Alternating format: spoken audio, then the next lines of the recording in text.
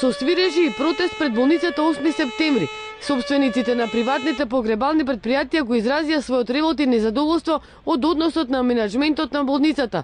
Тие тврдат дека 8 септември е во финансиска спрега со Аде Бутел и од и оваа фирма е форсирана и го држи монополот за погребални услуги во случај на смрт на пациент од болницата. Доказ за ова е последниот случај кога семејство на починато лице и покрај фактот што ангажирал еден од лиценцираните оператори, градската општа болница не дозволила да веќе ангажираниот оператор ја изврши услугата, односно транспортот и погребните услуги, и ова без согласност на семејството своеволно го предала на АД Бутел. За ова реагираше и семејството на умреното лице, за што поседуваме и доказ.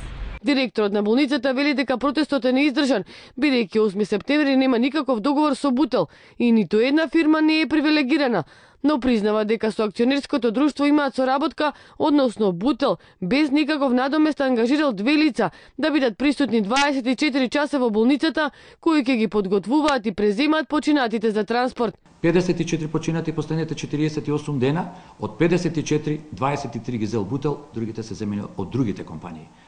И сите се на изјава на фамилија на починат. Значи не постои никаков пишан договор, не постои никаква никакви економски односи меѓу АД Бутел и 8 септември.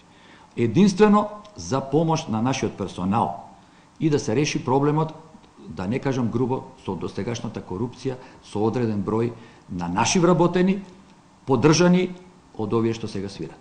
Стојче вели дека ова не било прв пат приватните погребални фирми да негодуваат, но сега нивниот притисок се засилил оти болницата ги зголеми своите капацитети и станале атрактивни во овој бизнис.